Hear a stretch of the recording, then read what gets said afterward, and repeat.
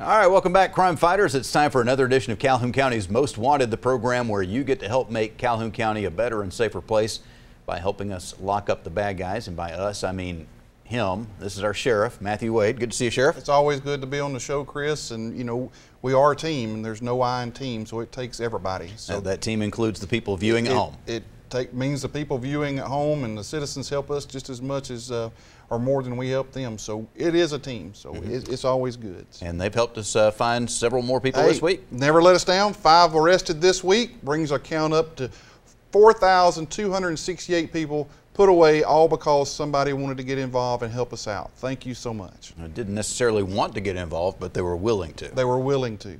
And some of them get rewarded as well. We do have some, 'em cash get- rewards Some occasionally. of them get rewarded, yes. And uh, you know, Crime Stoppers is a different organization, but they call that tip into Crime Stoppers, and we submit it. And a lot of times they'll cut them a check. Absolutely, that's nice. Uh, let's talk a little bit about um, the upcoming election. And I know we've got a lot of different things that are going to be on the ballot, but one thing that a lot of people aren't aware of is an issue that directly relates specifically to Calhoun County. Absolutely. Uh, we have several municipalities that border Calhoun County. Uh, those, in, one in Talladega County, a couple in Etowah County, and they have got where they'll come inside of the, the jurisdiction of Cal. They'll come inside Calhoun County, and they'll start poli- doing police actions. They'll do checkpoints, pulling people over, writing citations, and they're also charging them one percent on their power bill that goes to those cities that's not even inside our county. And these citizens didn't have a say or a choice in any of this. Now, it would be okay maybe if those municipalities would respond when the houses got burglarized or patrol their neighborhood to keep it from getting burglarized or answer any type of call for service, but they won't do that. They just tax them and they come write them tickets inside our county, and then the sheriff's office, we still have to respond and try to cover that. I just don't think it's right. It's not been right. It's not something that's uh, citizens have called and complained to me for, for a couple of years now. And uh, Representative K.L. Brown has got a law. It's going to be an amendment on the November 6th ballot.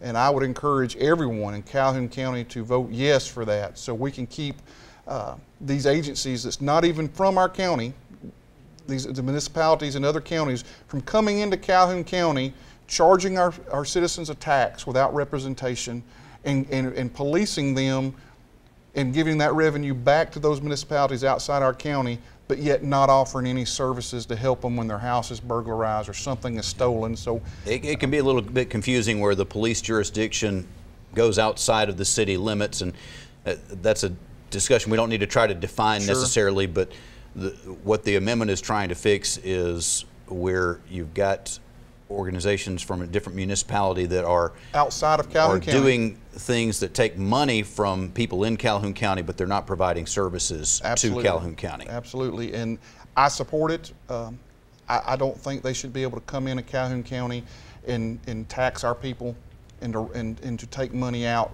to other counties without providing a service to our citizens. So your recommendation is to vote yes for Vote this yes. Uh, amendment? Sure. All right. Okay, we're going to take a break. When we come back, we'll have the first half of this week's lineup on Calhoun County's Most Wanted. And welcome to this week's edition of Calhoun County's Most Wanted. First up in our lineup this week, Samuel Hughes. Mr. Hughes, last known to be living in Anniston, he's wanted for a probation violation on possession of a controlled substance. And meet Karen Abramsky. Miss Abramsky, last known to be living in Anniston, she's wanted for failure to appear, possession of a controlled substance, possession of marijuana second, use and possession of drug paraphernalia, and obstruction of justice by using a false ID. And this is Cottrell Hambright. Miss Hambright, last known to be living in Anniston, she's wanted for failure to appear on use and possession of drug paraphernalia. And we'd like for you to meet Richard Gaither. Mr. Gaither, last known to be living in Oxford, he's wanted for a bond revocation on possession of a controlled substance. Take a look at Kevin Bush. Mr. Bush, last known to be living in Oxford, he's wanted on a parole violation for theft of property first. And this is Amanda Carpenter. Miss Carpenter, last known to be living in Anniston, she's wanted for probation violation on possession of a controlled substance. And last up for the first half of our lineup, Harold Rhodes. Mr. Rhodes, last known to be living in Anniston, he's wanted for failure to appear on possession of a controlled substance. And that's it for the first half of our lineup. Stay tuned for the second half later in the show. All right, we are back, and uh, we'll have some more bad guys for you in just a few minutes, Sheriff. But uh, right now, we want to talk about uh, college. We got both you and I have got kids that are going to be in college here before long. Uh, yes, un- you know, my daughter's a senior. It's kind of a sad time, but I'm happy for her. But it's, I hope Mm-hmm. she stays. I hope she stays local. I hope she goes to JSU. But she can go anywhere she wants. But um, Yeah. but JSU is a fine place. Reese will be heading off soon as well, and not sure where he's going to go. But uh, uh, we do have from Jacksonville State University Dr. Timothy King and Julie Nix to uh, to talk about what our kids are facing when they go off to college, because it's not just the reading, writing, and arithmetic, is it? No, no, it's not. Um, it, I've been in higher education for over 25 years, and uh, I have seen a significant shift in that time. Now, uh, what I'm not going to say is that there are more people now who are coming into college and facing issues that weren't there 25 years ago. What I am saying is that the complexity of these issues that are presented to, to, to, to college students uh, come about in a lot of different ways. For instance, uh, we have students who are coming to college and they already may have a mental health diagnosis. Well, 25 years ago, 30 years ago, 40 years ago, if I'm a college student and I go to the dean and say, by the way, I'm depressed or I'm having a manic symptoms, well, they just sent you home. We don't do that anymore. We welcome them and we have to prepare them and make sure they have the resources and the things they need to be successful. So there's a lot of different stressors. There's stressors with class. There's stressors with having to work. More college students have to work now to pay for school than they did back when I was in school. I didn't have to work. I just went to college. Yeah. There's a lot of stress that's added to their plate, and it creates some issues for them that may come up that Julie here can help address. Sheriff, now, if you'd had to work during college more, you might have saved you some trouble, shouldn't it? it would have saved me some trouble. But you know, I did work some in college, but um, you know, it's one That's of the only way I stayed out of trouble. Oh yes, but you know, and also we didn't have cell phones. I didn't have a cell phone until I got my first job. So, you know, we talk about mental illness, but there's all these stressors. You know, that device that all these college kids have, uh, high school kids have, is um, could have got me in a lot more trouble when I was a young man. Uh, So, Julie, when we send our kids off to Jacksonville State University or really any significant university, um, there are people there that are looking out for our kids, which is good to know. We worry about the cost of education, and, and certainly that is a, a concern for the two of us and lots of others. But there's a lot of things that uh, we don't always realize that we're paying for that, that uh, are very important for our kids. What, what services are we providing at Jacksonville State University? Well, um, all of our students have access to free counseling services. Um, so students can present, they can do an online request, they can come in, they can call and have an appointment with one of our counselors, usually within a few days. Um, we try to keep that wait time down. Um, and they also have student health services at JSU. So um, RMC is a partner uh, to JSU, and we have a nurse practitioner that's there all the time, and a doctor uh, that cooperates uh, with her, and um, they can handle a lot of you know the concerns that students present Uh, we may not think that our kids are going to need any of these services, but there, there's a major life change when you leave the nest, so to speak, and go off to a, to a campus where you've got all that additional freedom. Your parents aren't there beside you mm-hmm. every day, and just so many things changing in your life. Most people are going to need some help in some way, mm-hmm. whether it's a, a formal counseling session or not. What are some of the issues that, uh, that we see? Well, of course, there's the normal adjustment issues, you know, and, you know, families are changing. When you're sending a child off to college, you know, that's that's an issue for the parents a lot of times. And that's an issue for the child, you know, asserting their independence and going through those developmental milestones. They may have trouble like figuring out um, what they want to do, you know, with their life. They may find themselves in a major that they're not interested in and they don't know what to do. Um, so there's all kinds of peer relationships. Um, there's finding their niche in college. So we see all of those kind of issues in our student population. And they're not all negative issues, are they? A lot of it's- is is opportunities that they just don't know how to take advantage of, and, and you're able to help them move forward. Absolutely. All right. Well, we need to take a quick break, but we want to talk some more about this. We will be back in just a moment. We will have the second half of this week's lineup and more with uh, Jacksonville State University here on Calhoun County's Most Wanted.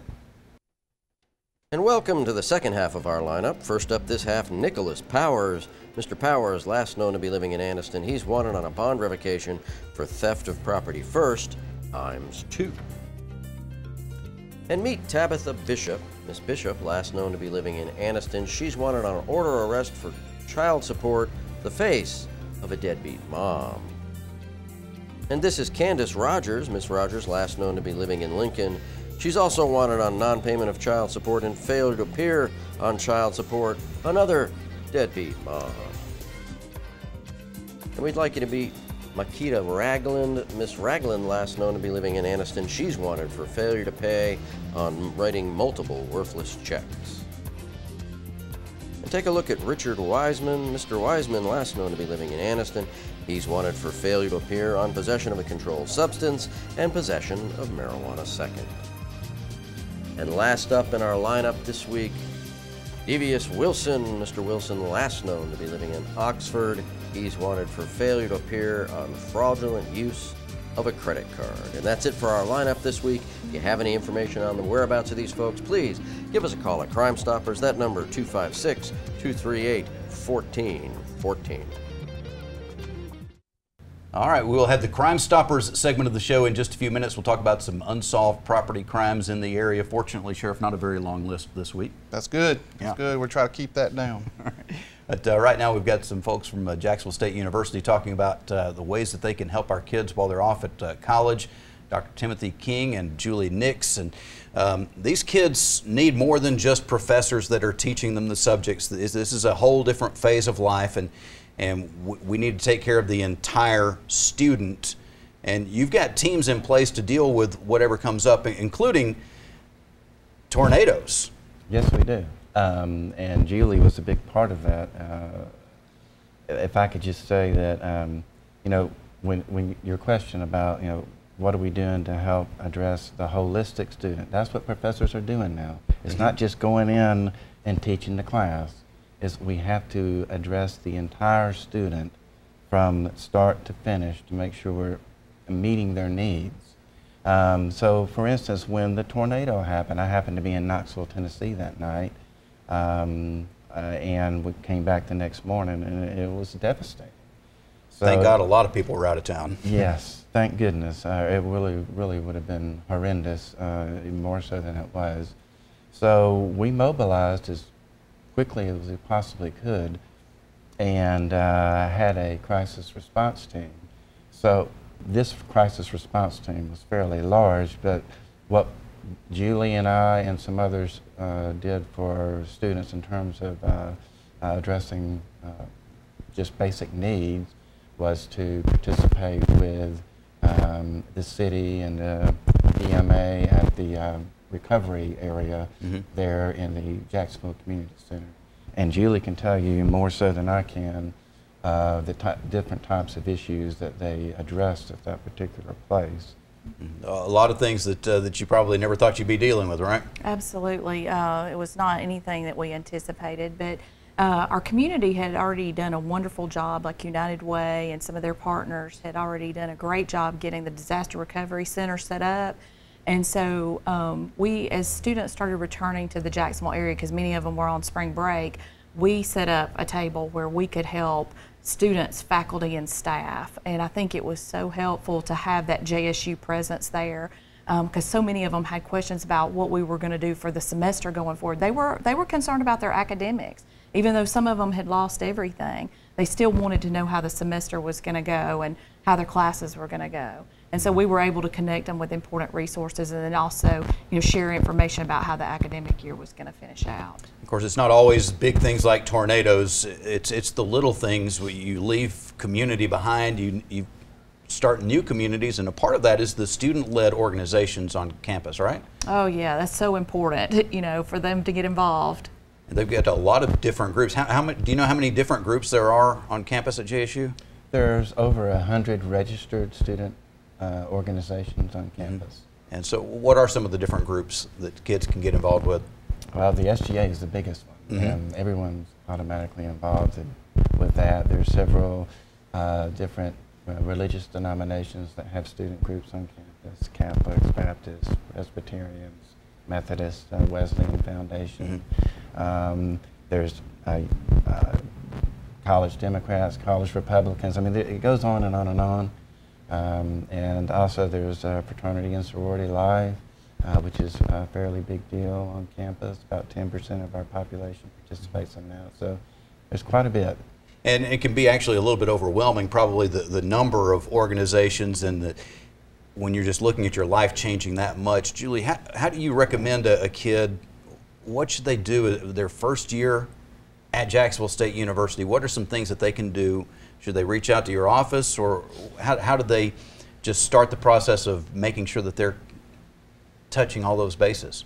Well, the Dean of Students office is where all the student organizations are housed, and they host events to connect students to, to organizations that they might be interested in. So that's a great way. I don't encourage students to get over involved, you know, that first semester, but I do like to see them get involved because um, I think they start developing those relationships and those connections. And some of them may be far from home, you know, so that's really important. Anything else that uh, you think is important to, to let our students and parents know? Well, uh, I- I'll go back to what you just asked. Um, all the research demonstrates that students who are involved have a greater chance of being successful in college and persist. So, like Julie said, those connections they develop with other students, uh, they become more comfortable with what they're searching to do, and uh, then they develop a, a relationship and an engagement with the campus. It becomes home. That's why you see about you know alumni who uh, come back and they want to participate or donate money or whatever it may be. They they developed a connection to that campus because they're involved.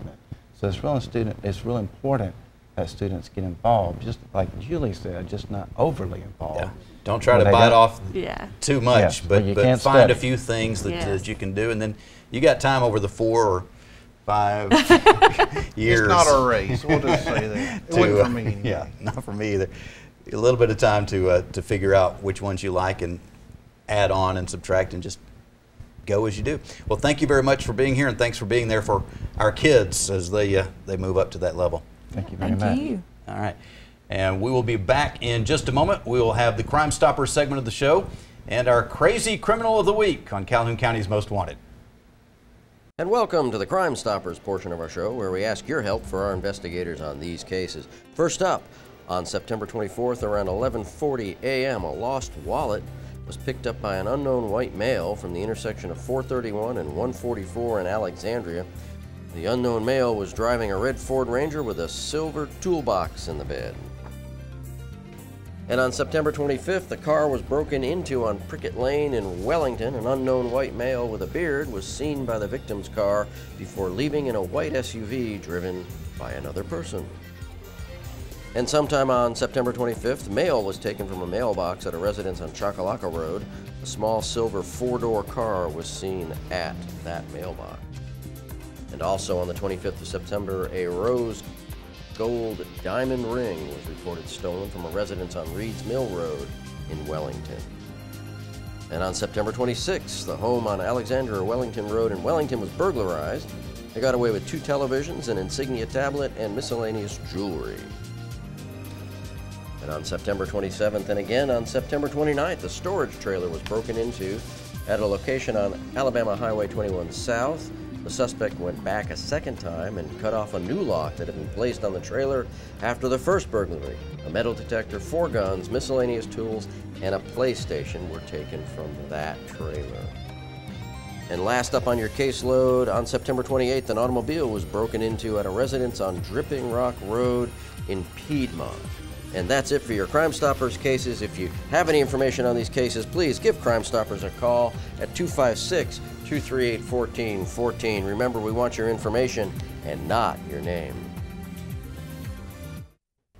Stupid! You're so stupid!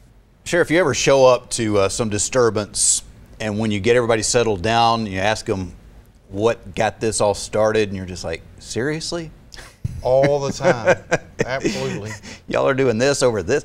Okay, Roger Washburn has been arrested for assaulting a friend of his, a lifelong friend. They've been friends for over 30 years. And they got into a fight, and he ended up pulling out his pistol. He didn't shoot at his friend, but he hit him with the gun, and it went off, and he hit him with it again, and it went off again. Yeah, that's bad. They were fighting over a Bruno Mars song and what the name of that particular Bruno Mars song was. Was there alcohol involved? Alcohol or something else I'm willing to bet probably was. I do not know definitively, but yes. You know, who cares? I mean, we see that all the time, though. You just go, who cares? You, Yeah. You're fighting over this? yeah. Crazy. All right. Crazy. That's all the time that we have for this week. We'll be looking for you again next week, but hopefully not in the lineup on Calhoun County's Most Wanted.